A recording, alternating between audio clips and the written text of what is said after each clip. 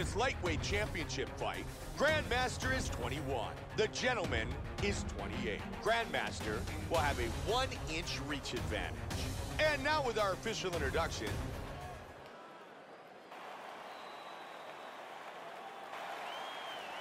Grandmaster, the gentleman. Ready? And here we go. The lightweight title is on the line. Five-round fight. The gentleman with a jab. It's a good kick. Solid leg kick. Joe, great use of the leg kick again by Green. Continuing to strike well. Green with a good knee to the body. One, two. Joe, we can see the game plan here. Punish his opponent's leg with some vicious kicks. He was looking for the head kick, but it was blocked. Tries for a low single. He's gonna try to take the back, I think. It's got the hooks in.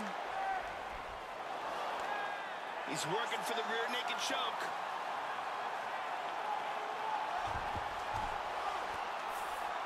Any second now, he might have to tap. That armbar is very, very deep. That's it. That's it. It is all over. Wow. Great job in getting this fight to the ground quickly and getting an early submission. Joe, here's the finish on our fight replay. And we see here, as soon as this armbar gets locked in, there is no escape. Perfect technique, tremendous pressure. And one more time from this angle, we can see that armbar locked in tight,